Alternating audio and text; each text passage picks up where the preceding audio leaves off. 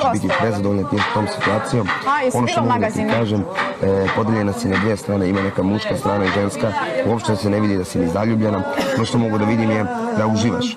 Ovo što se pojavljuje to je drvo, znači napred, Sanje, i napredak u narednom periodu i ono što mogu da ti kažem je jedina jako bitna stvar da nemaš nikakve briga. Eto, najzbiljno ti kažem, ništa ti se nije ono pretjerano ne Lice te dali šolje to od nje nasljedio. Kako da pa jeste, da znam.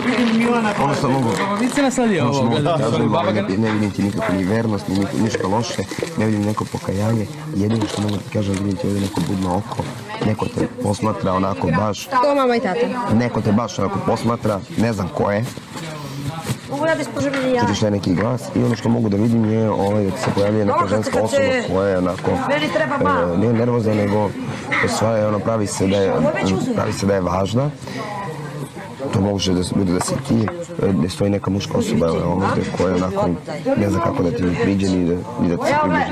Ti si tako ne da na sebe koja onako pravi se važna, ne zna da okrene leđe i da se nosi s situacijom, to si ti, evo, to si ovdje. Ništa je to što ti vidim, tu vidim ti tu nečiji odmor, neki, neko more, neka reka, ne znam šta je ovo. Znači, ništa loše ne vidim, stvarno. Nemaš nikakve dige, ništa, imaš neko slovo A i R, ne znam šta je to, A i R. Neke osobe na A, R.